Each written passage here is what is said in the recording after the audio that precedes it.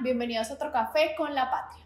Hoy me voy a tomar un café con azúcar, un café bien dulce. Y yo sé que ya van a venir todos ustedes en los comentarios a decirme que no, que el café se toma sin azúcar y que yo no sé qué, pero no. Yo hoy me voy a tomar mi café bien dulce y muy orgullosa de eso. Y la razón por la que hoy me voy a tomar este café es que como hay opiniones divididas sobre cómo se debe tomar el café, si dulce o no, pues asimismo hay opiniones divididas con respecto a si se deben hacer o no las corridas de toros. Para nadie es un secreto que Manizales tiene una amplia tradición relacionada con la tauromaquia. Algunos incluso se atreven a afirmar que es la capital taurina de Colombia. Y es que esta vocación en la ciudad viene casi desde su fundación, pero apenas comenzó a materializarse desde los años 40. En esa época varios líderes manizaleños viajaron a Sevilla, en España, y quedaron maravillados por su fiesta, la Feria de Abril. Así fue que empezaron a planear lo que más tarde sería la Feria de Manizales, con base en sus celebraciones artísticas y culturales. Desde sus inicios, en 1847, esta feria estuvo estrechamente ligada a la tauromaquia, por lo que también en Manizales sucedió así. Y la temporada taurina y la feria de la ciudad se volvieron una sola. En 1945 comenzó a construirse la monumental Plaza de Toros de Manizales y fue inaugurada con una corrida el 23 de diciembre del año 51, seis años después con un aforo total de 17.000 personas. En sus 71 años de historia ha acogido no solo a los mejores toreros de la época, sino también a icónicos personajes como Cantinflas, un cómico mexicano que tuvo su época de torero y que visitó la ciudad en el 54. Gerente de Cormanizales, Juan Carlos Gómez, nos comentó que las utilidades de la temporada taurina son destinadas al Hospital Infantil de Caldas, que es propiedad de la Cruz Roja, al igual que el Monumental. Estas donaciones acumulan 10 mil millones, de los cuales en los últimos años se ha estado aportando 700 millones por temporada. Además, nos contó que la plaza paga el doble de los impuestos de los que paga el Once Caldas por utilizar el Estadio Palo Grande. Es decir, es la entidad que más tasa paga por evento cultural. Juan Uribe es el fundador y actual coordinador del movimiento Tauro Joven. Él nos explicó la importancia que tiene la actividad en torno a los toros para la economía de la ciudad. Vamos a escuchar. Pues si lo vemos desde la mirada política, todo el país está en una situación compleja hoy por los diferentes proyectos de ley que se van encaminando en las comisiones y en la Cámara. Pero si nos alejamos de eso, estamos totalmente tranquilos porque siempre he dicho que el gran problema de la tauromaquia en Manizales es que no cabemos en la plaza de toros y que la gran mayoría de personas que vamos a la plaza somos son niños y somos jóvenes. Aparte de esto, durante la temporada la ocupación hotelera crece sustancialmente.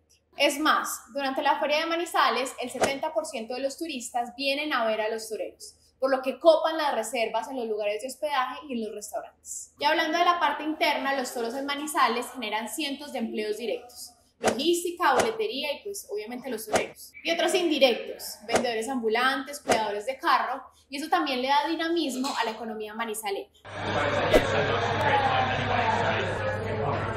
Y para exponer los argumentos de quienes se oponen a este tipo de espectáculos, nos comunicamos con el exconcejal Yonemair Yepes. Él es uno de los líderes animalistas más representativos de nuestra región y nos contó esto en contraposición a lo que nos dijeron en Cormanizales. Recordemos también que es un deber ético-moral que se acaben todos los eventos crueles con animales donde la gente se divierte.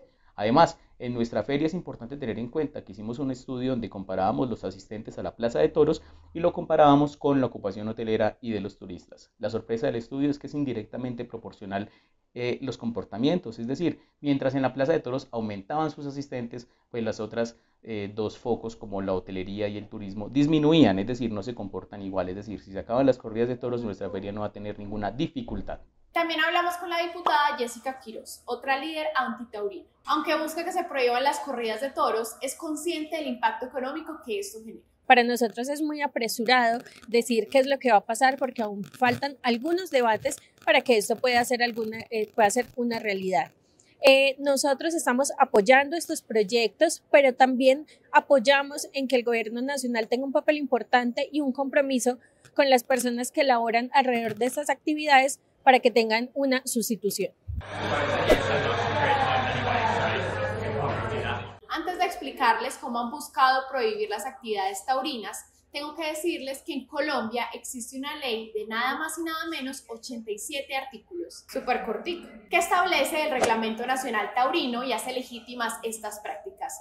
Esto fue en el 2004. Ahora sí, han sido tres los intentos distintos de acabar con las corridas de toros en el Congreso. Spoiler, ninguna prospera. En el 2015 lo propuso el senador Armando Benedetti. En el 2017 lo impulsó el ministro del Interior Juan Fernando Cristo y en el 2018 y el 2020 lo radicó el representante Juan Carlos Lozada. Pero parece que los congresistas jugarán batalla naval porque lo hunden todo. Ningún proyecto prosperó. Ahora este año Lozada volvió a insistir y presentó por tercera vez su proyecto de ley para prohibir las corridas de toro, además de esta vez la iniciativa cuenta con el apoyo de al menos 40 legisladores y está en proceso de debates. Esperemos a ver si la tercera es la vencida o se vuelve a hundir como los barcos de batalla naval. Si por un lado buscan acabar con las corridas, por el otro las defienden. Empecemos por decir que Colombia es uno de los ocho países del mundo, sí, solo ocho, que protege la tauromaquia a nivel constitucional. La Corte Constitucional, mediante sentencias del 2010 y el 2012, dejó en claro que las corridas de toros tienen un arraigo cultural, por lo cual no pueden ser penalizadas como maltrato animal. Pero también manifestó que se debe crear una ley que regule esas actividades con el fin de proteger a los animales y al medio ambiente. A pesar de que en el 2017 pareció darle la razón a los antitaurinos, prohibiendo las corridas de toro por ser maltrato animal, solo se quedó en el amago. En el 2018 esta sentencia fue tumbada por haber desconocido los precedentes que les acabo de comentar en el 2010 y en el 2012. Y lo último por lo que se ha pronunciado la Corte sobre este tema fue en el año 2019 cuando ratificó su decisión de no prohibir las corridas de toros. Parece que a pesar de todos los argumentos de los animalistas, para los magistrados pesan más la historia y la cultura que los derechos de los animales. ¿Será que en este momento siguen pensando lo mismo o cambiaron de opinión? ¿Recuerdan que les dije que en el último proyecto de ley que busca tumbar las corridas de toro participan más de 40 congresistas? Pues resulta que de estos 40, tres son caldenses, los representantes a la Cámara Juan Sebastián Gómez y Santiago Osorio y el senador Humberto de la Calle. Los representantes a la Cámara Wilder Escobar y Norman Bañol afirmaron en campaña a principios de este año que se oponían a las corridas. Cuando el senador Guido Echeverry fue gobernador de Caldas, aprobó que las corridas dejaran de ser patrimonio cultural por lo que aunque no se ha manifestado últimamente como taurino o antitaurino, podemos creer que se puede inclinar un poco más por la segunda opción. Un caso más confuso ocurre con Octavio Cardona, quien al inicio de su mandato como alcalde de Manizales dijo, la fiesta brava permanecerá, pero en el último año de su periodo prohibió una serie de corridas. Entonces, ¿está a favor o en contra? La única de nuestras congresistas que se manifestó abiertamente a favor de la tauromaquia fue la representante de la Cámara Conservadora, Juana Carolina Londoño quien nos contó que apoya la actividad taurina porque reconoce su valor cultural y su larga tradición en la ciudad y que entiende que genera empleo e infinidad de dinámicas turísticas. Yo sé que nunca se logrará un consenso entre taurinos y antitaurinos, pero mucho más difícil será llegar a un acuerdo entre quienes amamos el café con azúcar y quienes lo prefieren sin azúcar. Pero bueno, ahora que esperar a ver qué deciden nuestros políticos y así veremos en qué termina esta novela tan extensa de los toros en Manizales. Y antes de despedirme, yo les pregunto, ¿qué creen que va a pasar con este tema?